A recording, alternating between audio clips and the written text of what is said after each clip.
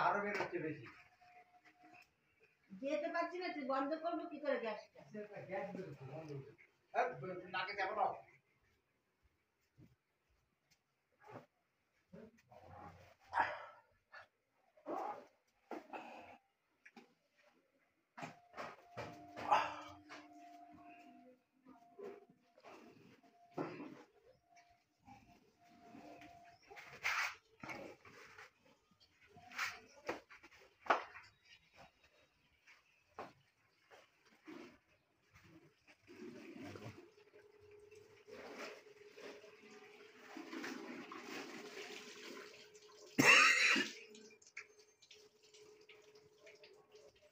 ওখানে সবাই পাশে সরে দাঁড়াও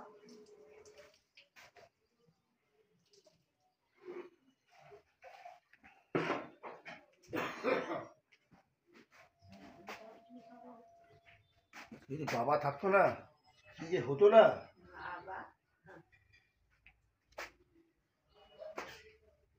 আগে একদিন এরকম করে কেউ ছিল না আমি যে ডেকে নিয়ে আসি তা।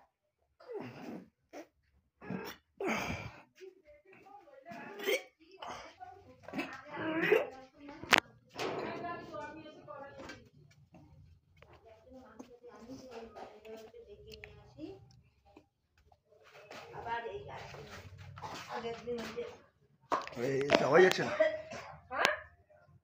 এটা এটা দিলে ভালো হতো। ধোয়াটা বন্ধ হচ্ছে না কেন? হবে না।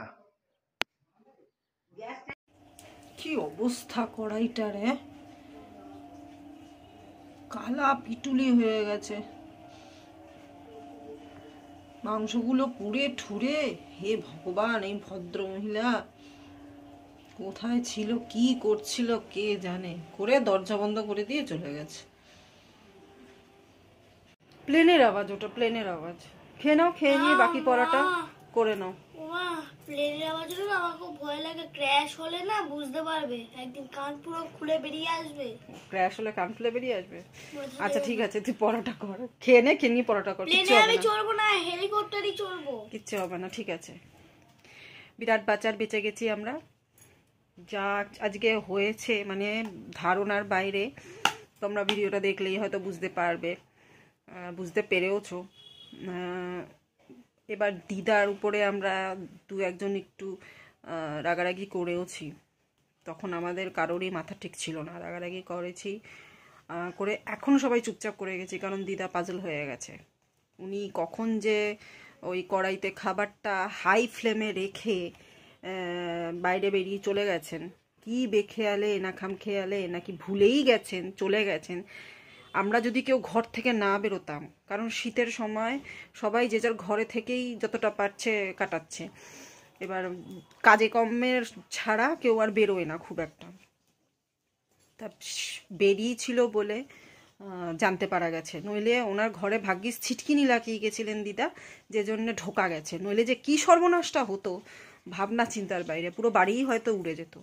গ্যাসের পাইপটা পর্যন্ত গরম হয়ে গেছে কড়াটা পুড়ে গেছে তোমরা দেখেছ সেটা। ভগবানকে ধন্যবাদ দেবো না সুপার ন্যাচারালকে ধন্যবাদ দেবো না নিজেদের ভাগ্যকে ধন্যবাদ দেবো জানি না। নাকি যারা দেখেছে আগে ঠাকুরকে আচ্ছা ঠিক আছে। আচ্ছা। ঠিক আছে ঠিক আছে। কি নাকি যারা দেখেছে তাদেরকে অজস্রভাবে ধন্যবাদ দেব। ভাবা আমি বুঝতে পারছি না। মোট কথা, এই যাত্রা সব বেঁচে গেছি। এবার দিদাকে যা দেখলাম, দিদার পরিস্থিতি যা দেখলাম, তাতে করে পাজল হয়ে গেছে। কি করবে জানি না। আর ঘরটা থেকে অসম্ভব বাজে টাইপের একটা পোড়া পোড়া গন্ধ বেরোচ্ছে। আমার মাথা এখন ঘুরছে, কি করে পোড়া পোড়া গন্ধটা আমি বের করব ঘর থেকে। কারণ অসম্ভব রকমভাবে মানে ঢুকেই না আমার মনে হচ্ছে কেমন যেন আমি শ্মশানে শ্মশানে দাঁড়িয়ে আছি। শ্মশানে যেমন একটা পোড়া পোড়া গন্ধ থাকে, সেরকম একটা গন্ধ বেরোচ্ছে ঘরটা থেকে। সেটা ধুনুচি দিয়ে হোক, ধুনুচি জ্বালিয়ে হোক বা রুম ফ্রেশনার দিয়ে হোক, আমি সেটা পরিষ্কার করব। যাই হোক, তোমাদের সাথে ব্লগটা আমি আজকে শেয়ার করছি। এটা দুঃখ দুঃখদায়ক ব্লগই শেয়ার করলাম। এখানে আনন্দ ফুর্তির কিছু নেই আপাতত। তোমরা দেখো। অবশ্যই দেখো আর পাশে থেকো। আমি ধন্যবাদ জানাই আমার সুপার ন্যাচারাল পাওয়ারকে আর আশপাশের কিছু মানুষকে যারা সত্যি হুট করে নজরে দেখে নিয়েছে।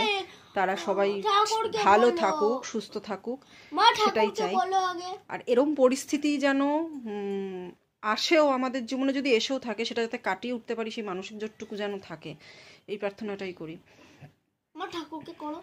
ভালো থেকো সবাই। হ্যাঁ ঠিক আছে, তোমার ঠাকুরকেও করছি। সবাই ভালো থেকো, সুস্থ থেকো। ব্লগটা আজকের মতো এখানেই শেষ করলাম।